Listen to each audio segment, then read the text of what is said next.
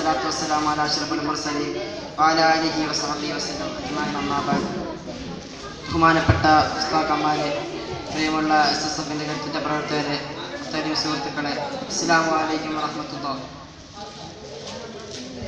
നാം ഇന്നിവിടെ നിലകൊള്ളുന്നത് എസ് എസ് എഫിൻ്റെ ഡിവിഷൻ സാഹിത്യോത്സവത്തിൻ്റെ വേദിയിലാണ് എനിക്കിവിടെ സംസാരിക്കാൻ ഭാഗ്യം ലഭിച്ചതിന് ആദ്യമേ അപ്പാവും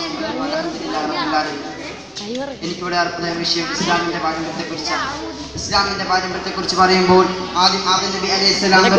അവിടുന്ന് റസൂലുള്ളാഹി സ്വല്ലല്ലാഹു അലൈഹി വസല്ലം തൊട്ട് സഹാബത്ത് താബികൾ ഇങ്ങനെ കൈമാറി കൈമാറിലാണ് അഹ്ലു സുന്നത്ത് വൽ ജമാഅത്തിന്റെ കൈമാറി കൈമാറി നമ്മളിലേക്ക് എത്തിച്ചേർന്നു. ആ ഇസ്ലാമിന്റെ കാര്യം നമ്മളിലേക്ക് എത്തിച്ചേർന്നപ്പോൾ കുറെ യാതനകളും വേദന മഹത്തുക്കളായ മഹത്തുക്കളും മഹാന്മാരുണ്ട് ഇന്നും ആ മഹത്തുക്കളുടെ പേര് റളിയല്ലാഹു അൻഹ അല്ലെങ്കിൽ റളിയല്ലാഹു പറയണമെങ്കിൽ സുഹൃത്തുക്കളെ നിങ്ങൾ ഒരു ദിവസം ചിന്തിച്ചു നോക്കണം. ആ മഹാന്മാരും മഹതികളും എത്രമാത്രം ഇസ്ലാമിന്റെ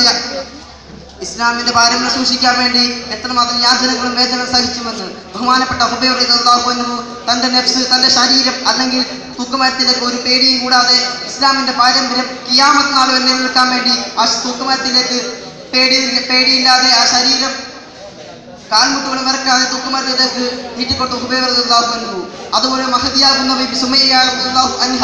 തന്റെ ശരീരത്തിലേക്ക് തന്റെ കുഹിസ്ഥാനത്തിലേക്ക് അമ്പ് എടുത്തുവരും ഇസ്ലാമിന്റെ പാരമ്പര്യം കിയാമത്ത് നാൾ വരെ ഈ ഭൂമിയിൽ നിലനിൽക്കണമെന്ന ഒറ്റ ആശയത്തോടെയാണ് ഇന്നത്തെ വർത്തമാന കാലത്ത് കുട്ടികൾക്ക് അത് അറിയുകയോ അതൊന്നും ചിന്തിക്കുകയോ ചെയ്യാതെ അവന് സ്വന്തം യുക്തിക്കും ബുദ്ധിക്കും അനുസരിച്ച് സ്വന്തം മതത്തെ തന്നെ വേർതിരിച്ച് വാട്സപ്പിലൂടെ ഫേസ്ബുക്കിലൂടെ തന്നെ അവൻ അടിച്ചമർത്തുന്ന വിഷയമാണ്. അള്ളാഹു സുബാന പരിശുദ്ധ ഖുർആൻ നമ്മളോട് പറയുകയാണ് ഇന്ന ദീൻ ഇന്ദല്ലാഹുൽ ഇസ്ലാം